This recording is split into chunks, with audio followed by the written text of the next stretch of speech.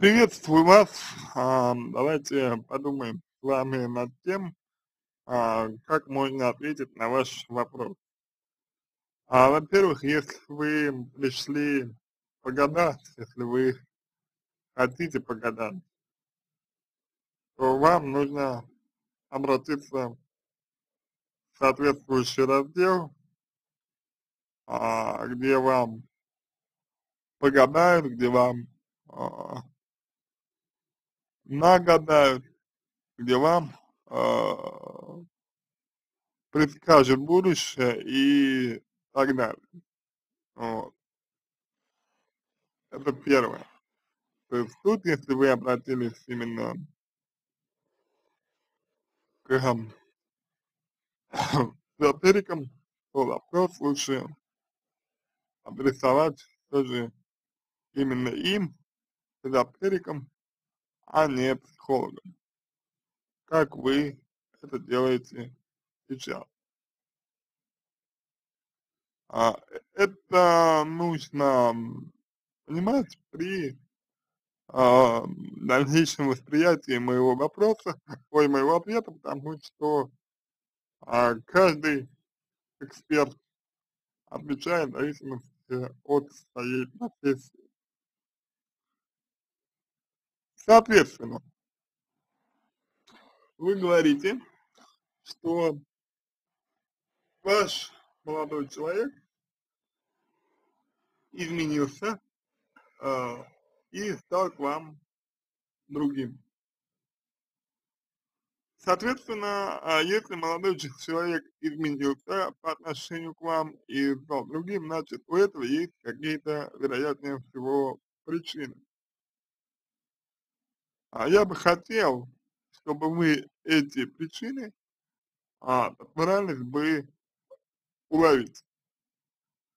Какие они, что из себя представляют, почему они а, стали возмо возможны и так далее. Это очень важный момент, если мы говорим о том, чтобы помочь вам понять, что будет дальше. То есть то, что дальше будет, напрямую зависит от того, а, какова природа, а, причин, по которым мужчина стал к вам относиться иначе. А, далее. Очень важно то, как вы сами воспринимаете то, что происходит. То есть как, как, какое значение для вас имеет эта ситуация в целом. Именно для вас какое значение она имеет, сама ситуация. То есть почему вы э, воспринимаете ее, эту ситуацию именно так. Чем она для вас критична? Вот. Это тоже очень важный момент, по, по крайней мере, э, для того, чтобы понять, насколько вы э, как бы погружены в отношения, насколько вы зависимы от них, от них, от самого мужчины и так далее. Это тоже очень важно. И вот уже исходя из всех этих вещей, исходя из всех этих нюансов, можно будет сделать вывод относительно того, как и что с вами происходит. Если вы а, в отношения вовлечены довольно серьезно, а, крупно, если вам а, без молодого человека очень тяжело, и вы, например, в последнее время стали чересчур много уделять ему а, своего внимания, чересчур много стали уделять ему своего времени и так далее, значит, на это были, были и есть причины. И вот именно об этих причинах я и хотел бы, чтобы э, вы подумали. как и почему вы стали а, иначе воспринимать, воспринимать своего мужчину, если это действительно так. То есть, если вы действительно мужчину а, воспри... начали воспринимать иначе, то почему? Почему это стало возможным? Из-за чего это стало возможным? По какой причине это стало возможным? Это тоже очень важный момент, важный нюанс, о котором нужно э, подумать. И то, что будет дальше между вами, во многом зависит именно от этих моментов. Во многом зависит именно от этих, от этих тонкостей, от того, как вы будете вести себя с мужчиной. Не как он будет вести себя с вами, а именно как вы будете вести себя с ним. От этого зависит э, ваше будущее как пары. А, теперь вам нужно а, для себя определить, к какому именно специалисту вы хотите обратиться. Какую именно помощь вы хотите получить от специ... и от какого специалиста. Какой специалист вам нужен.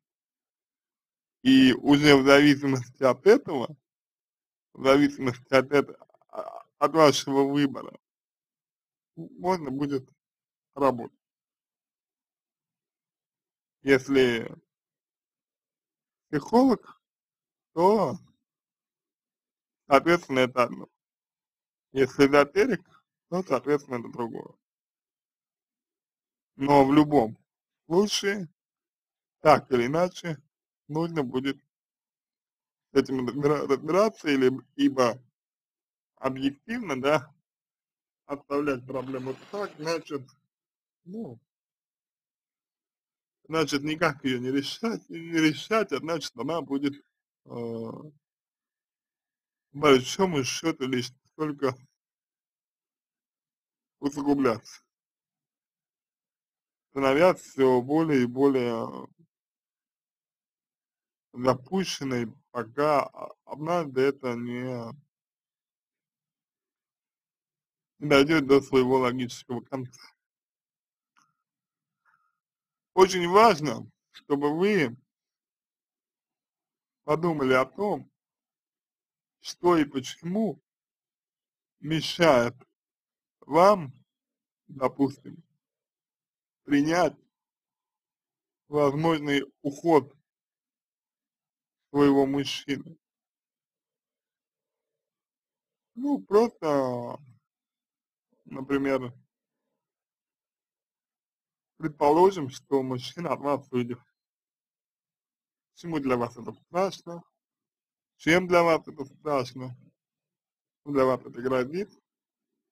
И не это ли движет вас а, в сторону попыток удержать его. Не это ли движет вами э, в сторону того, чтобы узнать, что будет дальше. Об этом тоже я рекомендую вам подумать, потому, потому что это очень важно, тоже исходя из этого, выстраивать свою дальнейшую модель поведения. На этом, я думаю, можно закончить мой ответ.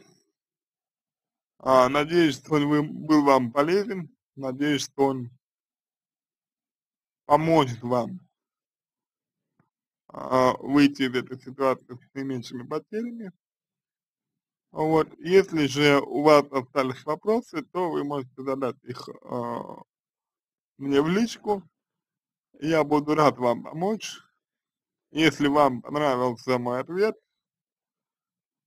буду благодарен, если вы сделаете его лучшим. Желаю вам всего самого доброго и удачи.